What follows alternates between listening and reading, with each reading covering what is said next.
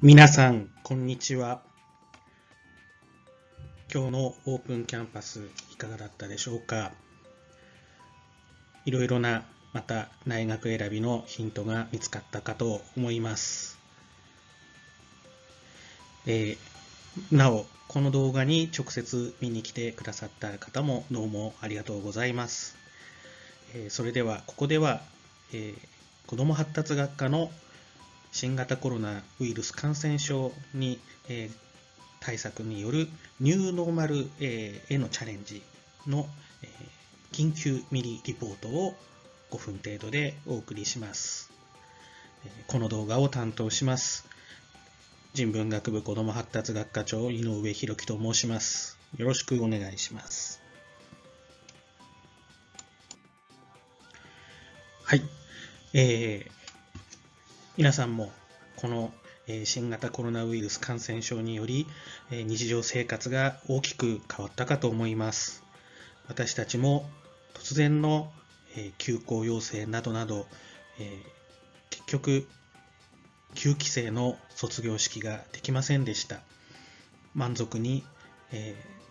お別れの挨拶もお互いできないまま社会に旅立つ4年生をそのまま送り出すという形になりました。え非常に、え学科長としても一、えゼミを担当している教員としてもじぐじたる思いをしました。そこで、え本学としても学びを止めないという方針を決めたわけですがこのことは私たち教職員の心に刻むものとして新たな決意に至ったわけです。この写真は前の年の卒業生の集合写真です。この9期生に関してはこのような機会がなかったということなのです。で、まず早速ですが、大学の方針に基づき実習を除き遠隔授業へ全面移行しました。えー、これは他の学部学科と同じですが、遠隔授業の、えー、拠点として Moodle というシステムを使っております。こちらの Moodle は、この Moodle にアクセスすることによって、様々な、教材にアクセスすることができ、え動画も視聴することができ、えこのような小テストもですね、え学生さんの方からはあの気軽に簡単に、えまあ、スマートフォンでも受けることができます。こういうふうな文章でいわゆる感想文などの形式も取ることができます。えー、普段ですと、えー、様々な双方向、あるいは学生同士の交流、まあ、アクティブラーニングというような、えー、参加型の授業を展開したい場合ですね、え、遠隔の場合でもですね、あの比較的、え、気軽に皆さんの意見を共有することができます。えー、班だけ、えー、まあ、場合によっては記名でも交流することができます。このほか、いわゆる少人数の学習機会であるゼミナールの時には、マイクロソフトチームズビデオ通話付きのシステムを利用しています。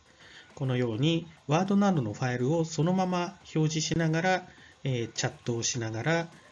顔なんかも出しながら、授業することができます。この他に遠隔でもですね、え就職対策を、え学科としても展開しております。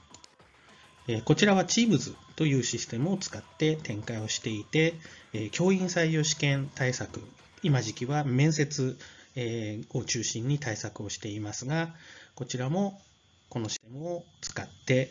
え週30時間ペースで展開をしています。非常に去年よりは倍近いペースで展開しています。それでは、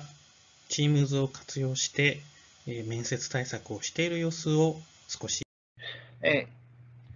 保護者会であなたは何を保護者の皆さんにお話ししますか？はい。保護者会では、えー、普段の児童たちの、えー、クラスでの様子や、あるいは何か問題、学級での課題があった場合には、それを保護者の方々に、えー、伝ええー、実際、学級で子どもたちがどんな様子なのかというのを、えー、具体的に現状を伝えていきたいと考えております。それではもう一つ聞きます。あなたが考える良い授業とは一体どんな授業のことですか？はい。えー、良い授業とは、えー、子どもたちが、えー、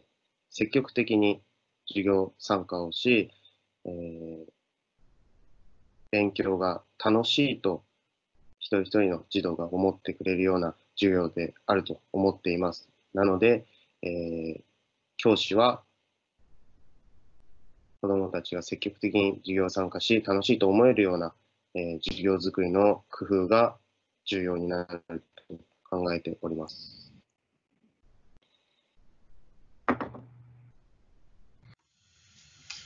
はい、えー、こういう形であのお互い離れていてもさまざまな先生から面接の指導を受けることができます。えー、この他にですね、あの遠隔によって、えー、教員と学生の対話の機会が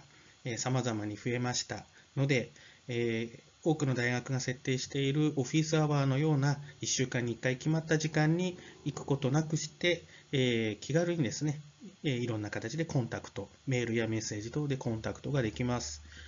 えただ、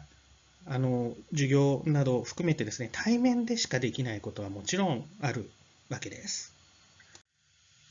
例えば、教員採用試験対策では、えー、ピアノの弾き歌いの練習は直接の指導を必要としますし、練習も音楽室で、えー、ないと練習できない人が多いです。で、そういう人たちに対応する、えー、状況を、3密を、えー、にならないよう徹底して、え、対策はして、え今実施しております。水泳についても3密対策を万全にした上で実施する予定です。まあ、このように、こう、まあ、小学校の先生は、えー、いろんな子供たちと遊べるということが大事です。えー、まあ、ちょっとしたことも楽しい時間に変えていく力も必要。えー、さらには、こういういろんな行事を自分たちでやってみる経験も必要で、えー、本学科ではそういう機会をたくさん作ってきました。さらには、4年生が卒業前にここまで学んだことを生かして、丸一日の行事、大運動会を後輩たちが楽しめるように企画し、卒業前の1月に実施、2月初めに実施しております。まあ、この後、私たちもこういうことができるかどうか、全くできない可能性ももちろんあるわけですけれども、様々な状況に応じてですね、対面遠隔の区別なく、今、自分たちの目の前でできることに、え専念していきたい。今できることを学生と共に追求をして、より良い、えー、教育、え、まあ、充実した学生生活を、え、皆さんに送っていただけるように、こういうふうに、え追求をしていきたいというふうに考えております。まあ、まさしくニューノーマル教育ですね。これはこう何かこうマニュアルがあってということではなくて、こうどうしたらいいだろうか、こういうことできないだろうかということを一緒に学生も教職員も一緒になって追求すると、そういうことで切り開いていけるものであると。あるいは現場に行ってもそういう考え方が一番実は大事なんじゃないかと私たちは考えております。このように新しい時代に即応できる教師、子ども支援者、まあ、保育士などということになりますが、送り出す準備をもう SGU の、えー、札幌学院大学の子ども発達学科、略して小発、えー、着々と進めてまいっていくというふうに考えております。また、えー、こちらのリポート続編を、え9月以降、えまた、え改めて報告をしたいと思います。それでは今日の動画は以上です。ご視聴ありがとうございました。